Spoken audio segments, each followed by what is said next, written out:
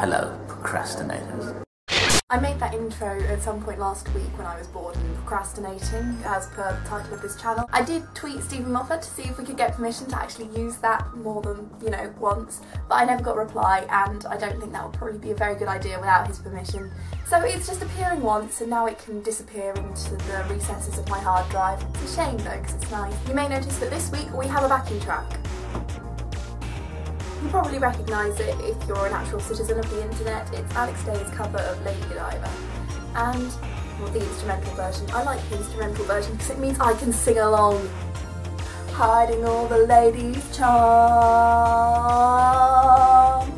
Lady Godiva. If you haven't bought Lady Godiva yet, please do. Uh, if you like it. Okay, so I was just editing that video. Mum came up to my room and said, you have mail! And it turns out that the mail I had was Lady Godiva. And, and, it's signed. That's nice. Go and get Lady Godiva because there's a 20% chance it might be signed, I think. We've now come to a point in the video where I'm going to have to cut the backing music. Katie and I had a bit of a challenge going this week, as you saw from her video. So this is my version of the Hogwarts school song. Hogwarts, Hogwarts, Hoggy Hogwarts, teach us something please.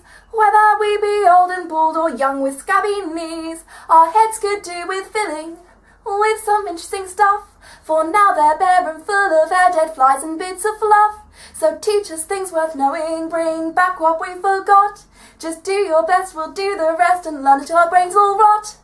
So yeah, I've had that tune in my head since I first read the book and I don't know why. That takes me on to something Katie said last week, which is when you're editing your videos, do you notice your accent more? Yes is the short answer. I change my accent in accordance with who I'm speaking with, how I'm feeling, etc etc. Most people do. In fact everyone does unless you're really weird. But you notice it more when you record yourself. Katie, you said you wanted to move to Wales so you would like your accent. Well, I can speak two words of Welsh, four words of Welsh. I'm going to tell you what they are. First two are Del and Cariad, which just mean dear. My nana uses them all the time. Third one is Popty, which means oven. And the fourth one is Popty Ping, which means microwave. They just shove the word ping on the end of their word for oven. I like it when languages are cute. I can't do a Welsh accent. My family sort of can.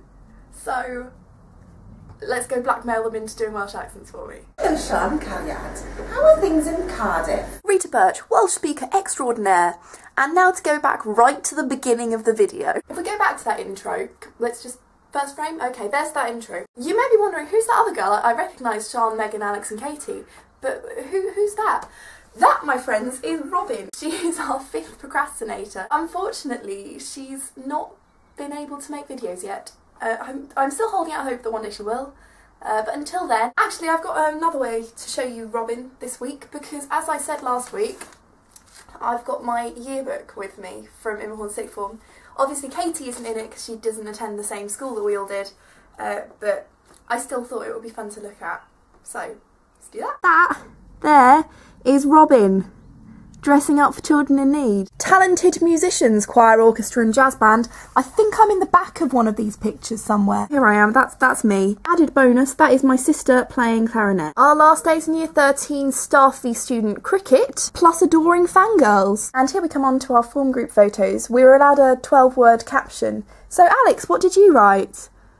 So many memories that I'll never forget. Robin. uh, it's gonna be so hard to leave, but I loved every second. And this is mine in Sean's form, so where are you, Sean? Oh, good caption.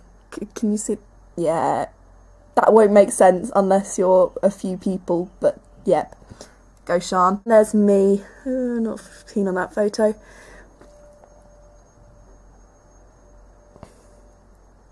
I'm so funny. Oh, this was funny. Year 13 Student Awards. So, so let's go to the pertinent ones. Friendliest Girl nominees we're not interested in because the winner was Sean Morgan. There you go, Shawnee. Pressure. That's on the internet now. You have to live up to it. And most likely to be PM, winner Megan Birch.